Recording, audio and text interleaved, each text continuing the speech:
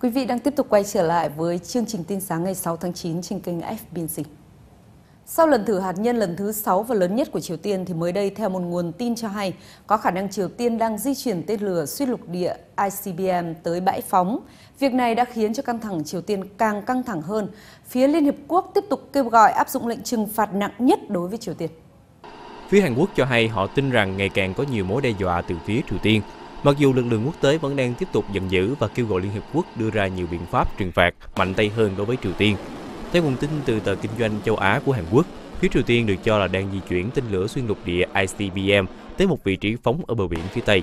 Theo quan sát, tên lửa này đã bắt đầu được di chuyển từ hôm thứ Hai ngày 4 tháng 9 và chỉ được di chuyển trong đêm nhằm tránh bị theo dõi. Vào hồi tháng 7, Triều Tiên đã phóng thử hai tên lửa xuyên lục địa với khả năng phóng xa tới 10.000 km và có khả năng hủy diệt nhiều phần lãnh thổ của Mỹ. Sau lần thử này, cộng đồng quốc tế tiếp tục kêu gọi những biện pháp trừng phạt với Triều Tiên. Cụ thể, vào ngày 4 tháng 9, đại sứ Mỹ tại Liên Hợp Quốc bà Nikki Haley đã hối thúc 15 nước thành viên của Liên Hợp Quốc phải nhanh chóng đưa ra những biện pháp trừng phạt mạnh tay nhất nhằm ngăn cản Triều Tiên và chặn tất cả các đối tác thương mại của Triều Tiên. Cùng ngày, Tổng thống Mỹ Donald Trump đã kêu gọi lãnh đạo các nước, bao gồm cả Tổng thống Moon Jae-in của Hàn Quốc và Thủ tướng Đức Angela Merkel, rằng các bên cần đưa ra những biện pháp để sẵn sàng đối phó với Triều Tiên. Phía Hàn Quốc cũng thảo luận với Mỹ về việc triển khai tàu sân bay và các loại máy bay ném bom chiến lược của nước này. Đồng thời, Hàn Quốc cũng đang đẩy mạnh các kế hoạch phòng thủ chiến lược của mình. Báo Nikkei Asian Review vào hôm 5 tháng 9 đưa tin chính phủ Nhật Bản đang lên kế hoạch sơ tán công dân Nhật Bản tại Hàn Quốc phòng khi chiến tranh nổ ra trên bán đảo Triều Tiên. Số liệu do báo Nikkei Asian Review cung cấp, hiện tại có khoảng 38.000 công dân Nhật Bản cư trú dài hạn tại Hàn Quốc. Ngoài ra có 19.000 du khách Nhật Bản và công dân cư trú ngắn hạn. Chính phủ Nhật Bản được cho là đang lên kế hoạch sơ tán hàng chục ngàn người này, giữa lúc Triều Tiên đang có những hành động làm căng thẳng thêm khủng hoảng ở bán đảo Triều Tiên. Hôm Chủ nhật ngày 3 tháng 9, Triều Tiên đã cho thử nghiệm nổ hạt nhân lớn nhất từ trước đến nay, chỉ vài ngày sau khi nước này phóng thử nghiệm tên lửa mang đầu đạn hạt nhân bay qua đảo Hokkaido của Nhật Bản. Nguồn tin của Nikkei cho hay, nếu Mỹ quyết định tấn công quân sự Triều Tiên, Nhật Bản sẽ cho di tán người dân ngay. Nguồn tin này còn nói rằng chính phủ Nhật Bản đang cân nhắc các phương án, trong đó có di tán bằng đường biển qua thành phố cảng Busan. Tính tới thời điểm hiện tại đã có khoảng 90.000 người thuộc cộng đồng dân tộc thiểu số Hồi giáo Rohingya trốn sang Bangladesh kể từ khi xung đột giữa binh lính quân đội Myanmar với cộng đồng người Rohingya kể từ hồi tháng 8 năm 2017. Tại Myanmar, cộng đồng Hồi giáo Rohingya không được chính phủ Myanmar công nhận với tư cách công dân của nước này, mà cho rằng họ là những người nhập cư bất hợp pháp từ láng giềng Bangladesh. Đồng thời, trong một thời gian dài, lực lượng quân đội Myanmar luôn bị các tổ chức nhân quyền buộc tội vi phạm nhân quyền trong việc giải quyết vấn đề với cộng đồng dân tộc thiểu số. Mới đây nhất, tình hình căng thẳng và bạo lực càng dâng cao hơn khi những người Rohingya cho biết họ đã bị nhóm cộng đồng đa số ngược đãi trong nhiều năm, cụ thể là trong những lần trừng trị thẳng tay của quân đội vào hồi tháng 8. Kết quả trong lần xung đột này có ít nhất 400 người bị giết. Tổng số đã có gần 90.000 người Rohingya đã trốn sang Bangladesh. Nhiều người đã bị chết đuối do thuyền chở quá tải. Hàng loạt cuộc biểu tình phản đối diễn ra tại Myanmar cho rằng lãnh đạo Myanmar, người đạt giải Nobel Hòa bình bà Aung San Suu Kyi đã không bảo vệ được những người Hồi giáo thiểu số Rohingya và không chặn được những tình trạng bạo lực, xung đột ngày càng leo thang tại Myanmar.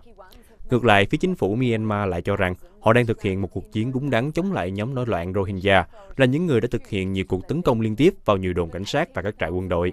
Trong việc tiếp nhận người tị nạn Rohingya, nhiều nước láng giềng ASEAN cũng bị chỉ trích do đã quá khắc khe trong quá trình tiếp nhận người Rohingya.